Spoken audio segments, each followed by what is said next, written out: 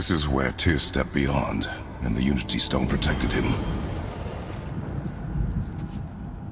Ready? Ready. Well, if this is it, lads, it's been an honor. Our faith head.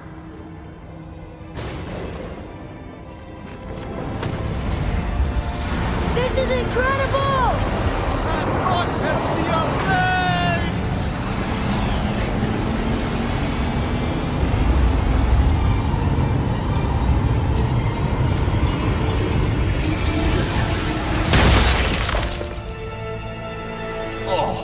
How can I be so nauseous without a stomach?